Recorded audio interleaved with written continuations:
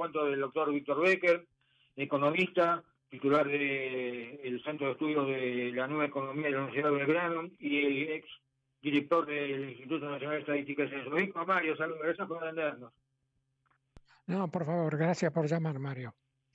No, por favor. Bueno, este, mañana, de acuerdo a lo que dijo hoy este Caputo, vamos a tener un índice este, incluso inferior al 4,8 de, de la ciudad, este, pero estamos ahí, esto es un piso, esto por una parte, y lo otro, este, bueno, lo dijo ayer este, una vez más el presidente de la República, a lo mejor este, tejiendo algunas teorías conspirativas, identificó un banco, ahora ya se dio el nombre, que este, como un, banco este, que conspira contra la democracia, eh, que salió de una reunión y enseguida operó de esa reunión este, con Caputo, con el presidente del Banco Central, con las nuevas medidas objetadas, que sí, que no, que esto era similar a lo que hicieron en diciembre, en su momento Schwarzenegger, que, pero en definitiva, este, una medida técnica.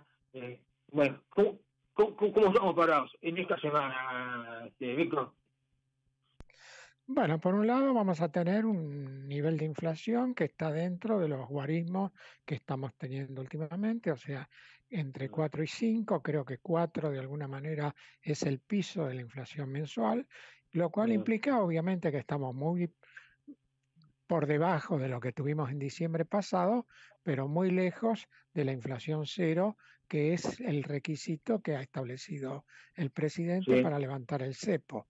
Por lo tanto, de acá a fin de año no veo posibilidades de que se logre ese objetivo de inflación cero debido a que, bueno, tenemos toda una inflación inercial más una serie de ajustes de precios, especialmente en materia de tarifas, que van a subsistir hasta fin de año. Esto implica, obviamente, que el tema del CEPO probablemente pase a ser una tarea para el 2025 pero en el interín, digamos, tenemos que resolver el otro gran problema de la economía argentina, que es que en junio el Banco Central prácticamente no tuvo ocasión de comprar divisas en un mes donde la exportación es muy fuerte. Por lo tanto, digamos, acá la pregunta que cabe es, ¿vendrá una lluvia de inversiones, especialmente de la mano de la privatización de las empresas del Estado, que compense los dólares comerciales? Porque evidentemente de acá en adelante por lo menos no se avisora que ingresen dólares por exportación en una magnitud suficiente. Por lo tanto, la única alternativa que aparece es que ingresen por la vía de la venta de las joyas o joyitas de la abuela que todavía el Estado tiene y que entonces esos dólares compensen la falta de entrada de, dólares por parte del sector exportador. Correcto. Eh, eh, cuando se habla de inflación cero, yo me acuerdo, digamos, para hacer una comparación, bueno, hay que hacerlas, por más que sean odiosas, como se dice, pero este, hubo, hubo inflación cero, pero este, quizás menos genuina, porque fue, ustedes, eh, los, jóvenes nos lo recordarán, nosotros lo vivimos, que fue la inflación cero de Helbart, por el pacto social, pero hubo un congelamiento de precios y salarios, y después duró lo que dura un suspiro, porque en definitiva explotó nuevamente todo por los años, eh, por los aires y tuvimos el rodillazo. O sea, esta es, de todos modos, ¿es un camino más genuino para lograr la inflación cero?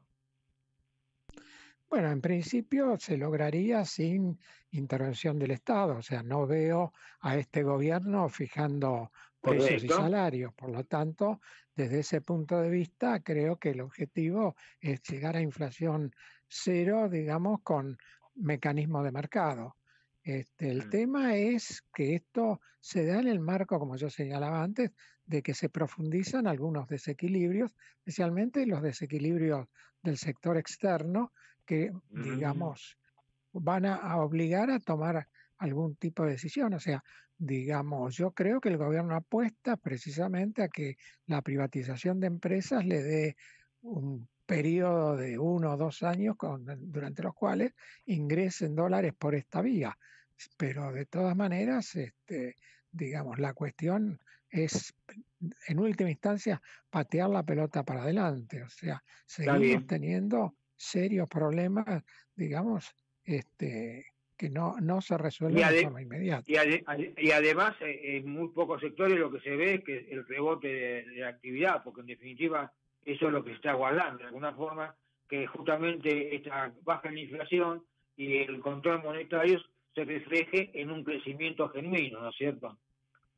Sí, yo ahí no, no le veo muchas perspectivas, salvo por el lado de la inversión. O sea, yo creo que en el esquema de este gobierno, la inversión es la, variable clave. O sea, si acá se produce reactivación, va a ser por la vía de, de un shock de inversiones, que por ahora, por lo menos, lo único que se ven son declaraciones de intenciones, pero digamos, todo esto lleva tiempo y yo no sé si los tiempos son suficientes como para llegar por lo menos a, digamos, mediados del año que viene con una situación más desahogada, de manera de, bueno, poder encarar las elecciones de medio término en una situación económica mejor que la que tenemos ahora.